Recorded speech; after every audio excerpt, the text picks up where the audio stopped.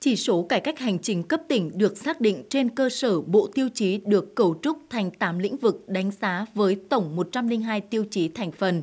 Qua đánh giá phân tích cho thấy, các chỉ số về cải cách hành chính năm 2023 cũng đã có sự cải thiện đáng kể so với năm 2022. Cụ thể, chỉ số PA Index của tỉnh xếp thứ 18 trên 63 tỉnh thành tăng 10 bậc, trong đó có 3 lĩnh vực nội dung tăng điểm tăng bậc và 3 lĩnh vực nội dung tăng điểm nhưng giảm bậc. Đó là lĩnh vực chỉ đạo điều hành tăng 3,05 điểm, giảm 1 bậc. Nguyên nhân là do có một số tiêu chí không đạt điểm tối đa như đối thoại với người dân, doanh nghiệp chỉ đạt 0,8 trên 1 điểm và tiêu chí thực hiện nhiệm vụ được Chính phủ, Thủ tướng Chính phủ giao đạt 1,379 trên 1,5 điểm. Lĩnh vực cải cách thể chế tăng 0,82 điểm, giảm 13 bậc và lĩnh vực cải cách tổ chức bộ máy cũng tăng 0,95 điểm, nhưng lại giảm 15 bậc do một số tiêu chí thực hiện điều tra xã hội học chưa đạt điểm tối đa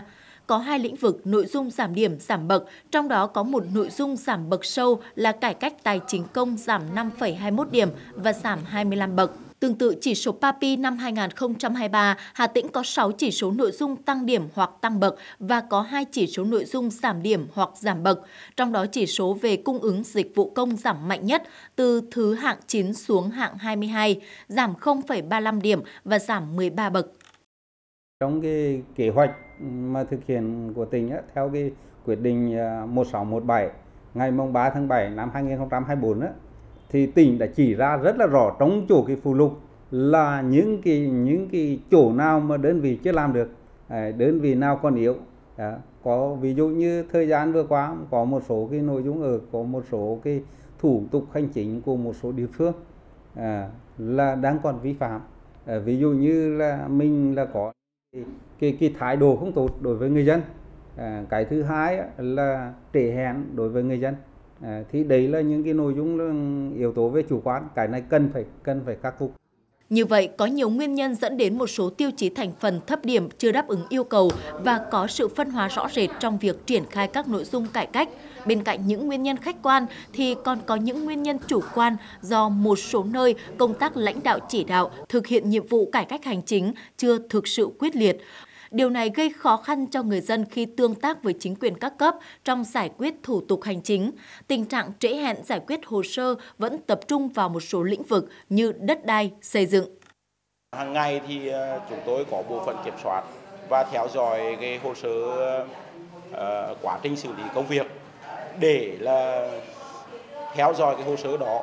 là bây giờ là đang ở bộ phận nào và có cái đôn đốc nhắc nhở à, để kịp thời từng bước tức là từng cái quy trình làm hồ sơ. À, cái đó là cũng theo tôi là một cái rất quan trọng. Vâng thưa quý vị, từ những tồn tại hạn chế trong thực hiện nhiệm vụ cải cách hành chính, quyết định 1617 vừa được Ủy ban nhân dân tỉnh ban hành đã yêu cầu các cấp ngành địa phương phải xác định cụ thể từng nội dung bị giảm điểm, tụt hạng. Đối chiếu với các nội dung, lĩnh vực thuộc trách nhiệm thẩm quyền, từ đó phân công nhiệm vụ cụ thể, đề ra lộ trình thực hiện, chủ động ban hành văn bản để cụ thể hóa và triển khai thực hiện kế hoạch khắc phục tồn tại hạn chế và cải thiện, nâng cao các chỉ số PA Index, CPAT, PAPI trong năm 2024 và các năm tiếp theo, đảm bảo nghiêm túc, có hiệu quả.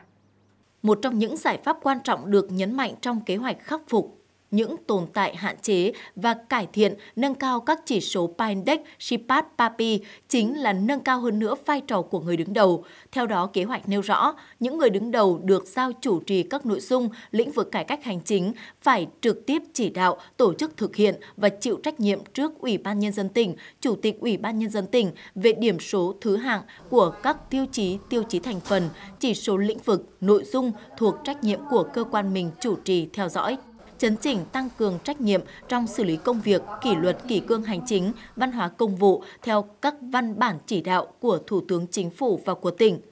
Trên cơ sở đó, các sở ngành địa phương đơn vị tiếp tục siết chặt kỷ luật kỷ cương hành chính, kiên quyết khắc phục tâm lý sợ sai, sợ trách nhiệm, thực hiện nghiêm quy chế văn hóa công vụ, chú trọng đổi mới tác phong lề lối làm việc của đội ngũ cán bộ công chức. Đây được coi là tiền đề góp phần hình thành phong cách ứng xử chuẩn mực của đội ngũ cán bộ công chức. Tôi được phân công tiếp nhận hồ sơ của các sở như là Sở Khoa học và Công nghệ, Sở à, Giáo dục và Đào tạo cũng như là Sở Thông tin và Truyền thông đòi hỏi là bản thân tôi nó sẽ phải tìm hiểu trong tôi trong những từng lĩnh vực của từng sở để có thể là tiếp nhận hồ sơ của người dân một cách hiệu quả phát huy vai trò trách nhiệm của người đứng đầu trong cải thiện, nâng cao các chỉ số Pindex, Shipad, Papi là giải pháp trọng tâm hàng đầu mà nhiều đơn vị địa phương đang triển khai thực hiện. Bởi thực tế, nơi nào mà cán bộ nhiệt tình, tâm huyết, nơi nào mà người đứng đầu quyết liệt, sâu sát trong lãnh đạo chỉ đạo, thì nơi đó chỉ số cải cách hành chính sẽ có nhiều dấu ấn như tại thành phố Hà Tĩnh là một ví dụ. Liên tục từ năm 2016 đến nay, thành phố Hà Tĩnh luôn là đơn vị dẫn đầu trong khối huyện, thị, thành phố. Theo bà Nguyễn Lê Thúy Hằng, Phó Giám đốc Trung tâm Hành chính công thành phố Hà Tĩnh, thời gian tới, trên cơ sở quyết định 1617 của Ủy ban Nhân dân tỉnh, thành phố tiếp tục thực hiện đồng bộ nhiều giải pháp, trong đó nêu cao vai trò trách nhiệm của người đứng đầu, của cán bộ phụ trách, đồng thời đưa vào tiêu chí đánh giá thi đua hàng tháng hàng tháng ấy, đối với những đơn vị phòng ban nào mà không đạt chỉ tiêu thì được nêu cụ thể tại buổi giao cơ vào đó. Và đó là một trong những giải pháp mà chúng tôi thấy hữu hiệu để nâng cao tinh thần trách nhiệm ờ, của người đứng đầu các phòng ban cũng như cán bộ công chức. Kế hoạch cũng chỉ rõ giải pháp quan trọng là phải tiếp tục đổi mới công tác chỉ đạo điều hành cải cách hành chính, cụ thể hóa các chỉ tiêu nhiệm vụ và triển khai đảm bảo chất lượng tiến độ các nội dung được xác định trong đề án triển khai nghị quyết số 12 chương trình tổng thể cải cách hành chính nhà nước tỉnh giai đoạn 2021-2030, kế hoạch cải cách hành chính năm 2024 nhằm cải thiện, tăng thứ hạng, điểm số các chỉ số Pindex, SIPAT, Papi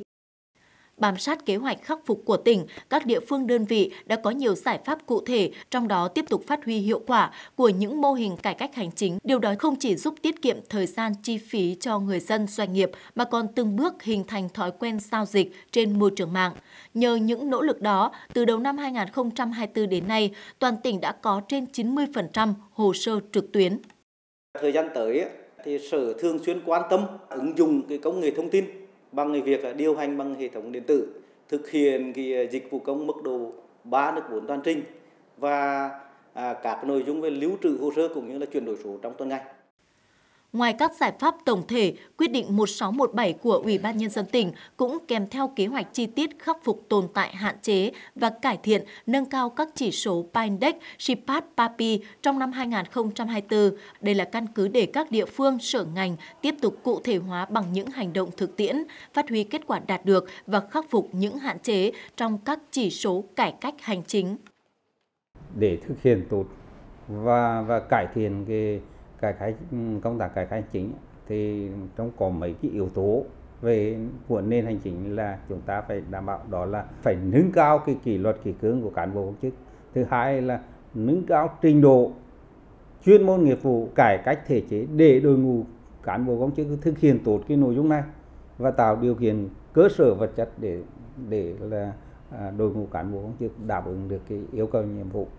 Quyết định 1617 của Ủy ban Nhân dân tỉnh với những giải pháp đồng bộ và khá toàn diện trên các lĩnh vực cải cách hành chính, gắn với đường găng tiến độ thực hiện, kỳ vọng sẽ sớm khắc phục những tồn tại hạn chế, phấn đấu năm 2024, chỉ số Pindex Shipat Papi tiếp tục được cải thiện, nâng cao chất lượng về điểm số thứ hạng trên các lĩnh vực và chỉ số thành phần, tạo tiền đề động lực cho những năm tiếp theo, góp phần xây dựng nền hành chính chuyên nghiệp, hiện đại, hiệu lực, hiệu quả.